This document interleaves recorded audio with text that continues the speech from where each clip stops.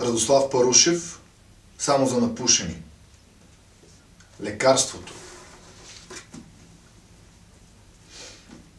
Мястото.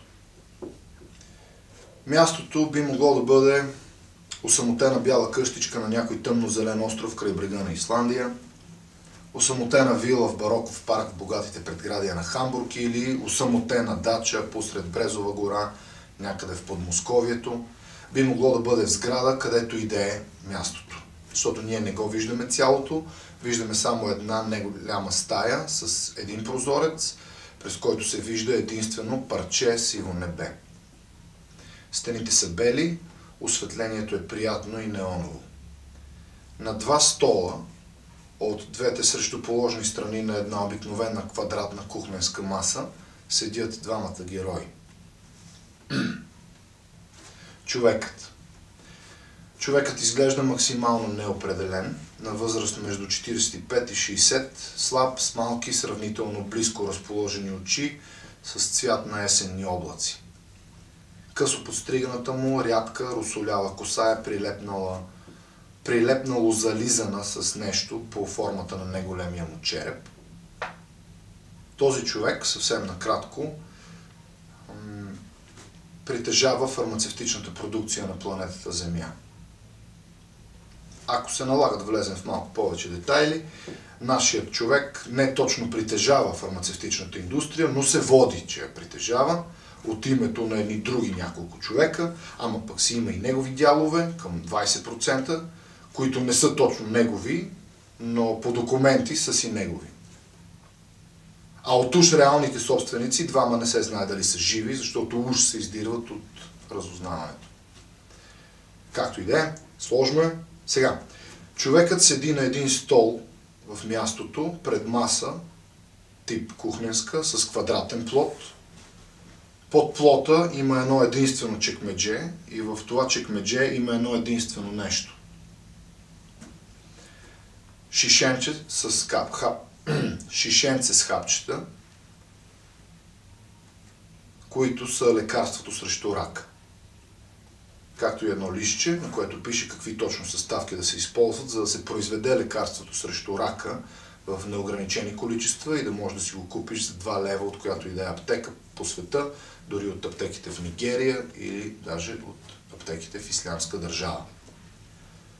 Обаче, Нашия човек си държи лекарството и рецептата в чекмеджето и не го дава на никого. Ни на ислямска държава, ни на нормална държава, защото нали, притежава сериозно участие в фармацевтичната индустрия и няма как да даде лекарството на другите хора и да си загуби кинтите. Игуаната. Игуаната изобщо не се нуждае от описание. При тях при игуаните, или поне на нас така винаги ни изглежда, няма отклонение от стандартния игуанен изглед, просто гущер с малко по-разчупени, малко по-екзотични форми, отколкото сме свикнали да наблюдаваме от нашите стандартни европейски гущери, все пак просто гущер. Нали. Игуаната седи точно срещу човека на висок стол от другата страна на четвъртития плот на масата и доста интензивно клати главата си нагоре-надолу. На масата пред игуаната има чаша с ракия и това, впрочем, е единствения предмет на масата, освен една кристална гарафа с ракия в средата. Сега за чувствата на героите, с които ви запознахме, за вътрешния свят на човека, който притежава лекарството. Не можем да разберем какво се случва вътре в човек. Седим отстрани, наблюдаваме го в тренчено, как седи на стола, и не можем да установим какво чувства. Погледът му е замислен, много замислен, но относно какво мисли, не можем никак да преценим. Той само седи, мълчи като пукъл и гледа замислено през прозореца в парчето сиво небе. Единствената промяна в изражението му се случва ето кога. От време на време човекът поглежда към игуаната и всеки път се очудва, защото чашата с ракия пред игуаната е абсолютно празна. Човекът взема гарафата, налива отново на игуаната чаша почти догоре, повече от 100 грама. След което отново се замисля и гледа през прозореца. Само след половин минута рязко поглежда към игуаната, сякаш да я хване в крачка.